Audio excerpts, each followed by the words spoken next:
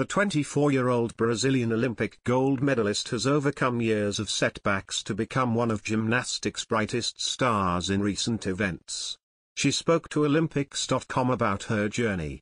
As the women's team final was coming to a close earlier this month at the Artistic Gymnastics World Championships 2023 in Antwerp, Belgium, Brazil's Rebeca Andrade was last to go for her team on their final event, vault as they stood on the precipice of a historic team medal. The Olympic vaulting gold medalist from Tokyo 2020 and 2021 sprinted down the runway, performed with her trademark style and power, and catapulted her squad to a silver medal. Andrade couldn't even make it all the way back to the chairs for the apparatus before her team had surrounded her in celebration.